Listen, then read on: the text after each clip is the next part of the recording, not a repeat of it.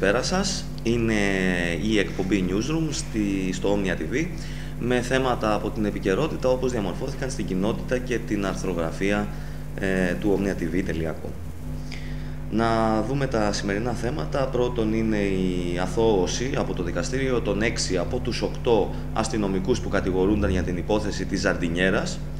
Ε, μια μαρτυρία απολύτως ε, σχετική είδηση, μια μαρτυρία για, τη, για βίαιη προσαγωγή ε, ενός ε, διαδηλωτή πριν την ε, πορεία, τη συγκέντρωση και την πορεία για τις ε, καταλήψεις της 12 Ιανουαρίου και ε, εξελίξεις στο μέτωπο του Χρυσού στη Χαλκιδική καθώς σήμερα οι κάτοικοι έχουν αποκλείσει όλους τους δρόμους για το Άγιον Όρος.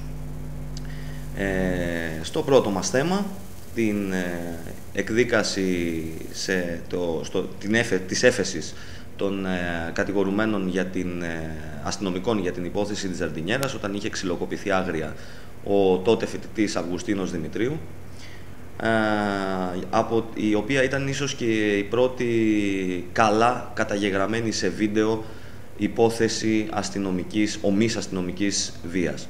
Να δούμε το σχετικό βίντεο για να το θυμηθούμε.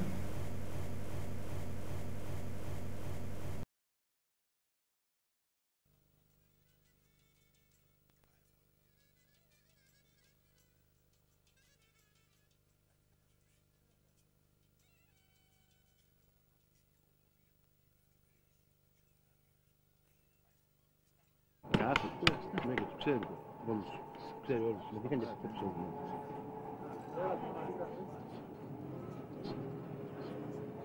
Θα πάει ο άνθρωπος.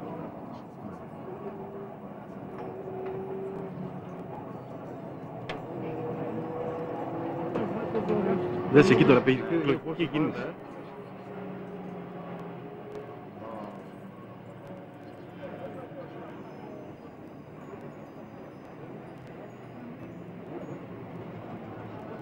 Πάει και ο σκούτος.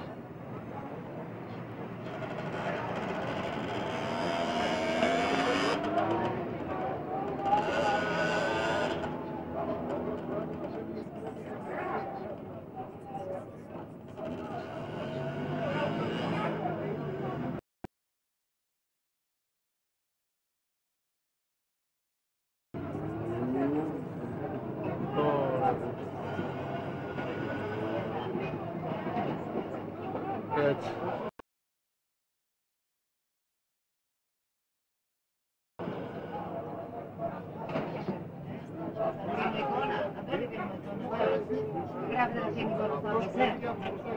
Σταμάτα βρε να μιλάς, ε, γράφουμε. Τι λες τώρα και εσύ βρε; Τι λες και εσύ τώρα να πούμε.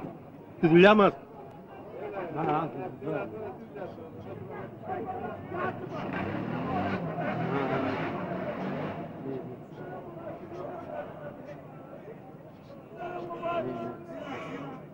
α, βέβαια. Σήμερα και κάτι κρατώμε, καταλλιώς. Σήμερα και κάτι άλλο. Καταλλιώστε.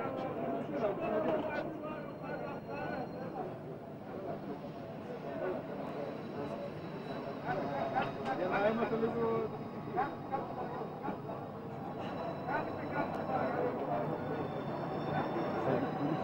Την πήρε γραμμή.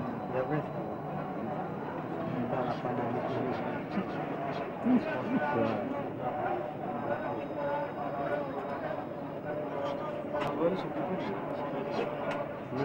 Έχει κουδούνι κάτω, ναι, και εγώ δεν το, είδα- το ήξερα και το είδαμε. ναι. Όπως ε, φαίνεται στο βίντεο και όπως ξέραμε όλοι όσοι είχαμε παρακολουθήσει από τότε την υπόθεση Ζαρτινιέρα, ο Αυγουστίνος Δημητρίου είχε ε, συλληφθεί από ασφαλίτες με πολιτικά που ήταν ακροβολισμένοι σε κάποιο σημείο μακριά από επεισόδια. Ο ίδιος ήταν περαστικός από εκεί, ε, χωρίς βέβαια αυτό να σημαίνει κάτι ιδιαίτερο, ακόμα και αν δεν ήταν περαστικός από εκεί. Ε, δεν τεκμηριωνόταν ε, σε καμία περίπτωση η συμμετοχή του σε στις, α- ε, αυ- ε, στις α, λεγόμενες έκνομες ενέργειες. Ε, ωστόσο είναι επίσης προφανής, νομίζω, από το βίντεο η, συν, η συνέργεια και η συνενοχή όλων αυτών των αστυνομικών που ήταν παρόντες εκεί, τον έπιασαν, τον παρέδωσαν στους δύο που τον ε, χτύπησαν ε, και φυσικά η, φαίνεται και η συμμετοχή της, ε, της υπολογαγού Ζαρντινιέρας στο βίντεο, η οποία, στην οποία βέβαια πάνω τον χτύπησαν οι αστυνομικοί και δεν σηκώθηκε η Ζαρντινιέρα και τον χτύπησε. Το πενταμελές εφετείο κακουργημάτων Θεσσαλονίκης, ε, δικάζοντας ε, σήμερα σε δεύτερο βαθμό την υπόθεση αυτή, αθώωσε κατά πλειοψηφία τους έξι αστυνομικούς που κατηγορούνταν ε, για συνέργεια, ενώ καταδίκασε σε ποινές φυλάκισης 2,5 ετών τον καθένα με τριετή αναστολή, τους άλλους δύο, τον έναν εν ενεργεία και τον άλλον εν αποστρατεία, για την πράξη της επικίνδυνης σωματικής βλάβης. Την αθώωση των έξι πρότεινε ο εισαγγελέας της έδρας Ζαχαρίας Μουράτης. Η πρόταση του εισαγγελέα έγινε τελικά δεκτή. Ο εισαγγελέας είχε υποστηρίξει ότι εν λόγω αστυνομικοί, οι έξι που κατηγορούνται για συνέργεια, δεν συμμετείχαν στον ξυλοδαρμό. Οι αθωοθέντες αστυνομικοί τώρα, στους οποίους το δικαστήριο αναγνώρισε ε, ελαφρυντικά, απολογούμενοι ομολόγησαν ότι, οι, οι, συγγνώμη, οι δύο καταδικαστέντες, οι οποίοι ε, στους οποίους το δικαστήριο τελικά αναγνώρισε ελαφρυντικά και τους έδωσε 2,5 χρόνια με αναστολή, με 3 χρόνια αναστολή. Ε, απολογούμενοι ομολόγησαν ότι χτύπησαν ε, τον ε, Αυγουστίνο Δημητρίου, αλλά δικαιολόγησαν ε, το γεγονός, ε, καθώς είπαν ότι προσπάθησαν να τον ακινητοποιήσουν και να τον συλλάβουν, αλλά αυτός αντιδρούσε. Οι αθωοθέντες τώρα, οι έξι από τους οκτώ, ε, υποδέχθηκαν την απόφαση του δικαστηρίου με ανακούφιση και έκαναν λόγο για δικαίωση.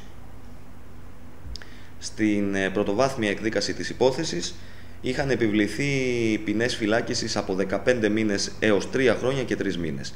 Οι ποινές ήταν κατά περίπτωση ε, με τριετή αναστολή και εξαγοράσιμες. Και πάμε σε ένα σχετικό περιστατικό. Μια μαρτυρία για μια βίαιη προσαγωγή ε, διαδηλωτή πριν την πορεία για τις καταλήψεις της 12 Ιανουαρίου. Εδώ να σημειώσω ότι εκείνη την ώρα ε, εγώ και κάποιοι άλλοι ήμασταν παρόντες στο περιστατικό. Το, βέβαια ήταν ε, παρουσία πολύ ισχυρών αστυνομικών δυνάμεων γύρω μας, ήμασταν μόνο τρία άτομα και αντιληφθήκαμε ότι ε, παίρνουν τον άνθρωπο και τον απομονώνουν στην στοά της Εθνικής Τράπεζας στην, ε, επί της οδού ε, Ακαδημίας. Η μαρτυρία λοιπόν έχει ως εξής. Το Σάββατο στις 12 Ιανουαρίου, λέει το θύμα, λίγα λεπτά πριν τις 12 το μεσημέρι και ενώ κινούμουν με τη μοτοσυκλέτα μου στην οδό Σόλωνο, στη διασταύρωση με την οδό Ζωοδόχου Πηγής, μια ορδή από μπάτσους της ομάδας Δέλτα με περικύκλωσαν αφού πρώτα είχαν ανέβει στα πεζοδρόμια με τις μηχανές τους. Με κατέβασαν βία από τη μοτοσυκλέτα μου και ενώ μου είχαν ακινητοποιήσει τα χέρια, με πήγαιναν χτυπώντας προς την οδό Ακαδημίας. Εκεί, μπροστά στο βιβλιοπωλείο Πατάκι, στάθηκαν και άρχισαν να με χτυπούν ξανά, μέχρι που αποφάσισαν να μου βγάλουν το κράνος για να μου ρίξουν και στο κεφάλι. Μπροστά σε αυτό το θέαμα, μέρα μεσημέρι στο κέντρο της Αθήνας, διερχόμενοι και εργαζόμενοι μετά το αρχικό σοκ αντέδρασαν, ενώ κάποιοι από αυτούς, ε, όταν έβγαλα το κράνος, με αναγνώρισαν και στην προσπάθειά τους να με υπερασπιστούν δέχτηκαν τραμπουκισμούς και ύβρις. Στη συνέχεια, λόγω του δημόσιου χαρακτήρα που είχε πάρει το σόου τους, με μετέφεραν στη στοά της Εθνικής Τράπεζας απέναντι ώστε να συνεχίσουν το έργο τους χωρίς αδιάκριτα βλέμματα. Εκεί μου εξήγησαν σε εισαγωγικά με τον τρόπο τους, γράφει ο, το θύμα, και τον λόγο του υπερβάλλοντα ζήλου τους. Ήταν γιατί νωρίτερα είχα μεταφέρει μαζί με σύντροφό μου σακίδιο με σημαίε στα προπήλαια για τη δημόσια ανακοινωμένη διαδήλωση αλληλεγγύης της καταλήψης. Αφού μου έκαναν σαφή με τα λεγόμενά τους τα ναζιστικά τους φρονήματα, εν μέσω ύβρεων, ψευτοαπειλών και χτυπημάτων, παράλληλα απαντούσαν και στις κλήσεις που δεχόμουν στο κινητό μου τηλέφωνο. Οι αστυνομικοί είχαν πάρει το κινητό τηλέφωνο του προσαχθέντος και απαντούσαν στις κλήσεις που λάμβανε. Ε, μάλιστα, με μια, σύμφωνα με μια μαρτυρία ενός από τους ε, γνωστούς του θύματος που πήρε εκείνη την ώρα τηλέφωνο, οι αστυνομικοί απάντησαν «Ναι, τώρα τον περιποιούμαστε».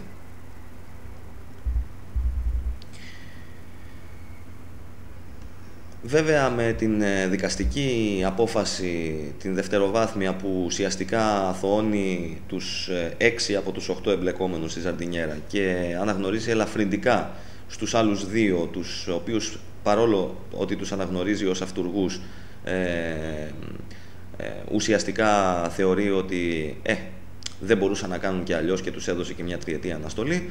Τέτοια περιστατικά είναι σαφές ότι παίρνουν το πράσινο φως από συγκεκριμένους δικαστικούς, οι οποίοι φαίνεται να εφαρμόζουν συγκεκριμένη ατζέντα εκ μέρους της ε, κυβέρνησης.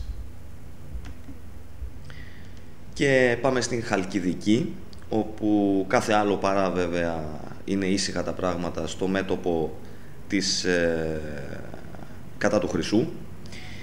Κάτοικοι της Χαλκιδικής έχουν ε, αποκλείσει από νωρίς σήμερα, ε, εκεί γύρω στο μεσημέρι, με τρία μπλόκα όλους τους δρόμους που οδηγούν στο Άγιον Όρος. Ε, εν ώψη μάλιστα του αυριανού εορτασμού των ε, Θεοφανίων με το Παλαιό ημερολόγιο. Ο αποκλεισμός γίνεται ως διαμαρτυρία για τη γενικότερη στάση των μονών του Αγίου Όρους που δεν έχουν πάρει καμία θέση, ενώ ε, τους έχει ζητηθεί πολλές φορές από τους κατοίκους ε, της Χαλκιδικής για την ε, υπόθεση της, των μεταλλίων στην, στο όρος του μεταλλίου που πρόκειται, του ανοιχτού μεταλλίου, το οποίο πρόκειται να δημιουργήσει η εταιρεία Ελληνικός Χρυσός στο όρος Κάκαβος. Συγκεκριμένα η Μονή Ιβύρων διαθέτει έκταση 923 στρεμάτων στο ρέμα Λοτσάνικο, όπου η Ελληνικός Χρυσός σχεδιάζει την κατασκευή λεκάνης απόθεσης αποβλήτων και κάποιους ε, δρόμους πρόσβασης σε αυτή.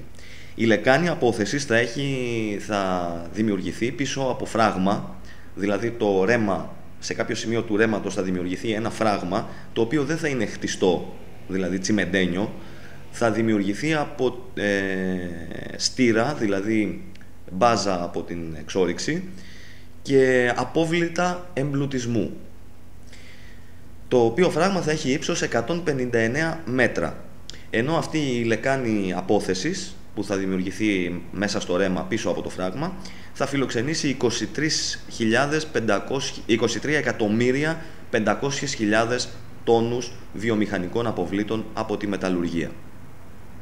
Η Ελληνικός Χρυσός διαπραγματεύεται την αγορά αυτής της έκτασης από τη Μονή Ιβύρων με διαμεσολαβητή τον Δήμαρχο Αριστοτέλη, τον ε, κύριο Πάχτα. Σύμφωνα με τις ε, πληροφορίες που έχουν ε, τοπικοί φορείς, η συναλλαγή έχει συμφωνηθεί ήδη. Απλώς δεν έχουν μπει ακόμα υπογραφές, δεν έχει υπογραφεί κάποιο τελικό κείμενο. Ε, εδώ να βάλουμε και την πληροφορία ότι αν τελικά η Μονή Ιβύρων δεν πουλήσει την έκταση στην εταιρεία, θα γίνει απαλωτρίωση απευθείας ε, μέσω του δημοσίου για να εξυπηρετηθεί η επένδυση. Ε, ωστόσο αυτή θα είναι μια σχετικά χρονοβόρα διαδικασία με...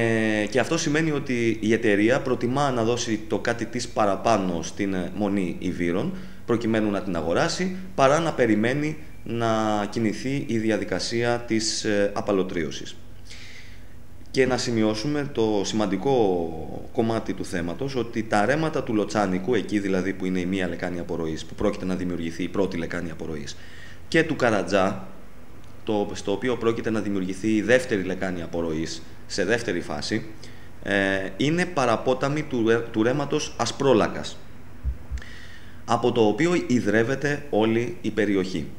Θα επανέλθουμε και σε αυτό το θέμα ε, με εκτενέστερες πληροφορίες γιατί είναι ένα θέμα το οποίο ε, περισσότεροι γνωρίζουν, καταλαβαίνουν τον αντίκτυπο που θα έχει στο περιβάλλον αλλά ωστόσο θα πρέπει να γίνει μια πιο συγκεκριμένη έκθεση γεγονότων ε, και στοιχείων για να δούμε ακριβώς πώς θα επηρεαστεί, ποιες μέθοδοι μεταλλουργίας θα ακολουθηθούν εκεί και πώς θα επηρεαστεί η, ε, το περιβάλλον στην περιοχή. Αυτά ήταν τα θέματά μας για σήμερα Παρασκευή. Να ανανεώσουμε το ραντεβού μας για την Δευτέρα στις 8 η ώρα ε, με τα θέματα της επικαιρότητας, όπως διαμορφώνονται στην ε, αρθρογραφία και στην κοινότητα του Omnia TV. Γεια σας και καλό Σαββατοκύριακο.